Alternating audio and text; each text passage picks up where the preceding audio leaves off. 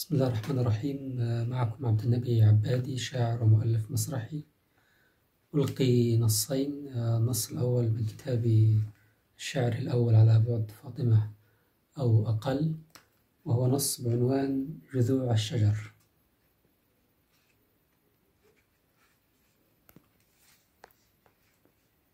يا جذوع الشجر السماء التي في السماء التي فوقنا ساءها حزن هذا المطر. والطيور التي في الغصون التي في يديك اشتهت ريشها كي تفر. فاصبري يا جذوع الشجر.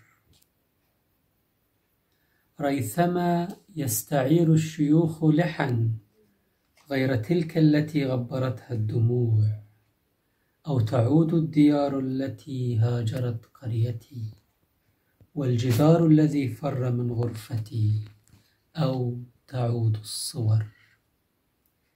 يا جذوع الشجر ربما مرت الريح من فوقنا ربما لم تمر. كل ريح تمر تثير الحصى. والحصى طيب. لا يحب النعال التي قد تمر وفي بطنها لون دم. الحصى يكره الوافدين بلا موعد. كم نعال الطغاة مشت فوقه ثم ما خلفت في جبين الحصى ندبة أو أثر.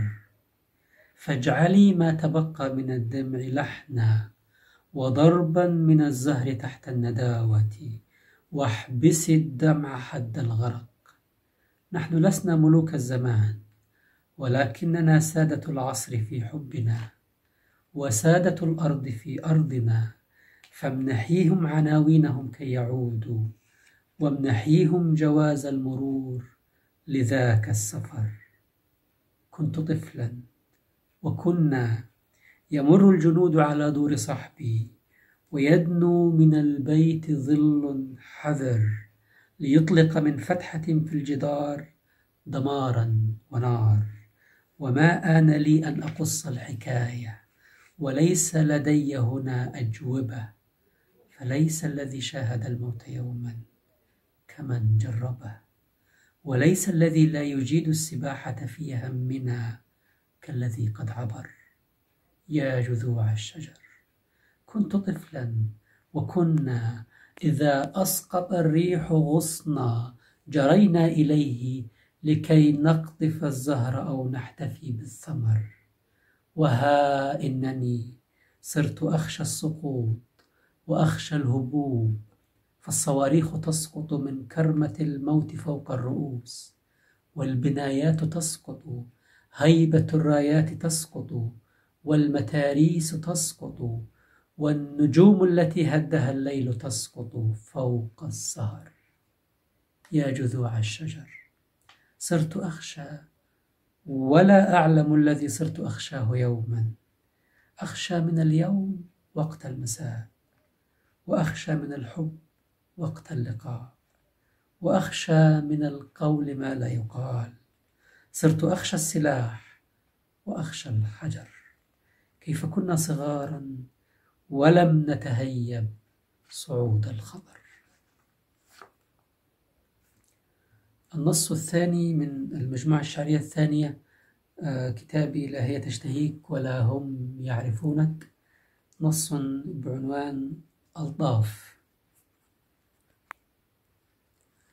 من أول السطر الذي ما زال سطرا واحدا. ينساب ترياق البشارة أمردا وممردا ويهب عطر العطر ممشوق النسيم يجوب أطراف الليالي والسنين. تبت يدا من لامس الكفين غير الشاعر الشواف إذ شهد الفنون وشاهدا. لا ترتقي إلا على قلب ولا يرقى لها إلا صدى. قد حان أول قدحان من عنب الرواية والرؤى. قدحا صبيا صابيا فأصابتا منه اثنتان من الخوارق طيشه فانصاع للرقيا على كتف السكون. وأخلدا لم تعترف بالمشي إلا كي تعبد للطريق فألتقيه ممهدا. لم تقترف كحلا.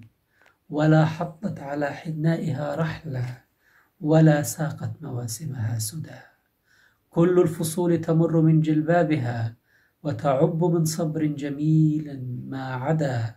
فصل الحنين يمر من عطشي ويسقي العابرين يلمهم ويعد من لحم الرجاء موالدا وموائدا.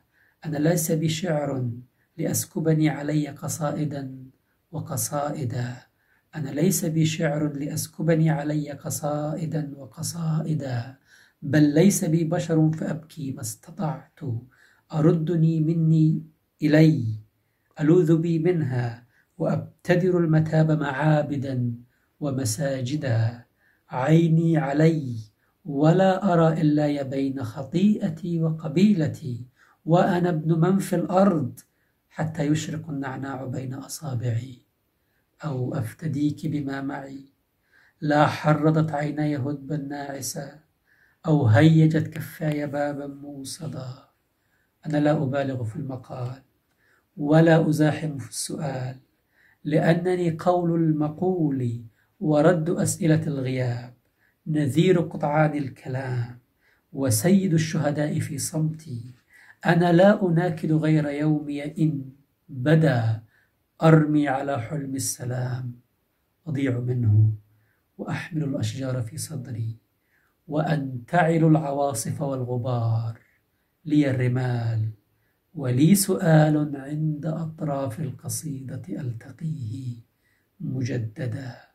لا يعترف بالصبر إلا شاعر. لا فرق نبكي الآن أو نبكي غدا. شكرا.